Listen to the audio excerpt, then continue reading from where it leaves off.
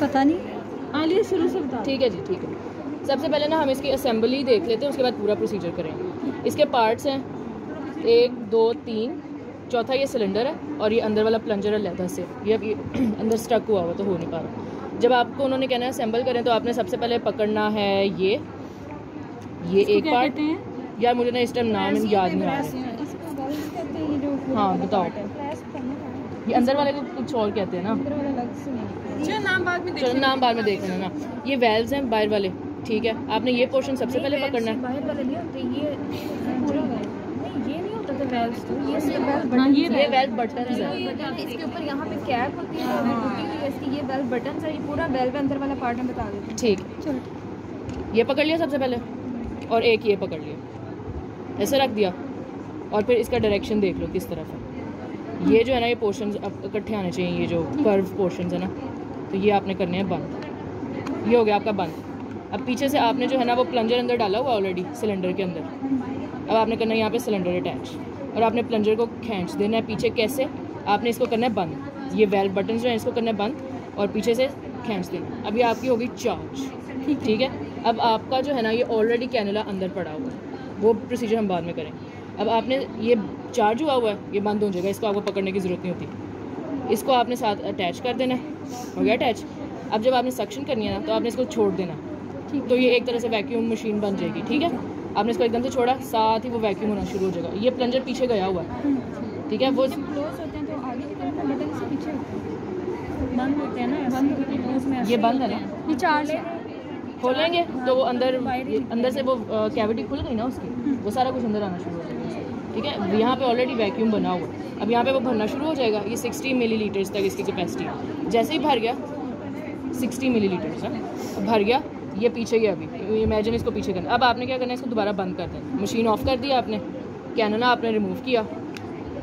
और इसको फिर से मशीन को खोल दिया और वो सारा कुछ खुद ही बाहर चला जाएगा। उसके बाद आपने प्लंजर को वापस ऐसे कर देना और फिर इसको बंद करना दोबारा से और दोबारा चार्ज करना। ठीक है। फिर आपने अंदर जाकर दोबारा अटैच करना कैनला और दोबारा से मशीन ऑपरेट कर देना है। ही है कैनुला अंदर ही है। कैनुला अंदर ही है। सिर्फ़ आपने इसको बाहर निकाला और इसकी मूवमेंट कैसे करनी है? मैम ने बताया आपने इसको ऐसे पकड़ना। और आपने एल्बो पे वन एट वन एट 180 और टू एंड फ्रो मूवमेंट बस। आगे समझ?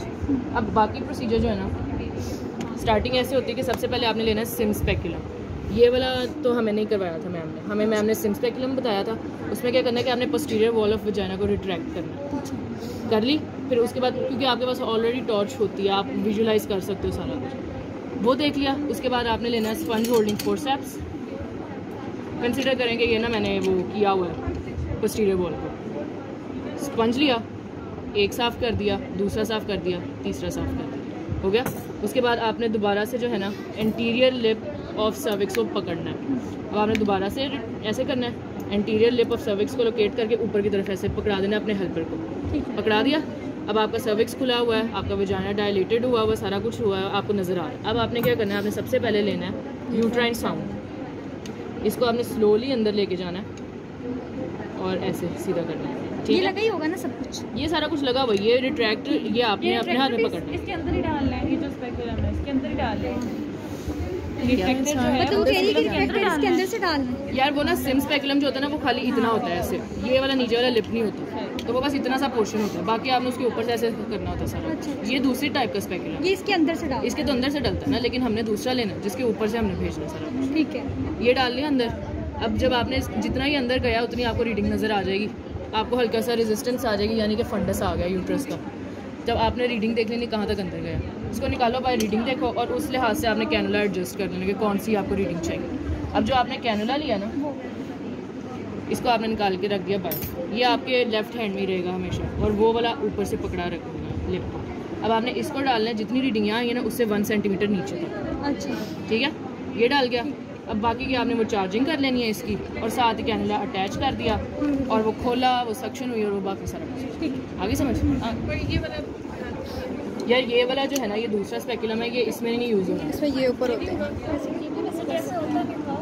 नहीं ऊपर ऊपर ये इसको हमने नहीं ना लेना। अच्छा। ये हमने नहीं लेना ना। करना। तो हमें क्लास में तो पहले उसी से करवाया ठीक है। और आलिया इसका कोई प्रोसीजर तो नहीं है ना? इसमें क्या? इसका कोई मतलब प्रोसीजर तो नहीं है ना? नहीं यार इसको बस आपने अटैच करना है वो अकॉर्डिंग टू वो आप देख लो जो आपकी प्रेफरेंस है या जो जैसे इंडिकेशन और काउंटर इंडिकेशन है वो इसको अटैच करना पीछे या इलेक्ट्रिकल सक्शन लगी होगी या ये इस तरह मैनुअल वैक्यूम लगा होगा तो वो है जो बेबी आपने प्रेशर एडजस्ट कर लेना वो पढ़ लेना जाके कितना होता है। तो वो बेबी खुद ब खुद ऐसा ऐसा सक होता है बाहर आ और मैम इसकी पोजीशन पोजीशन जो उसकी मैम ने बताई थी वो डाउनवर्ड और अपवर्ड्स बताई वो तो ऐसे ना कि जब आपने लगा दिया सक्शनिंग शुरू तो होगी फिर यानी डिलीवरी शुरू है? तरह तो फिर ऐसे करके ऐसे आती है जे शेप इसको कहते हैं। अच्छा। नीचे से ऊपर ये जे शेप होती है। यूँ ऐसे? ऐसे? एस से हाँ। ये देखो ये बेबी है ना ये बेबी है। हाँ। फॉर एग्जांपल इधर बेबी हाँ, अब वो थोड़ा सा उसको बाहर निकाला। हाँ। नीचे की तरफ़ किया ताकि ठीक उसका इंटीरियर शोल्डर बाहर निकले। फिर उसके बाद उसको खींचा ताकि उसका पोस्टीरियर शोल्डर बाहर निकले और फिर उसको बाहर निकाला। This is the J shape है। बस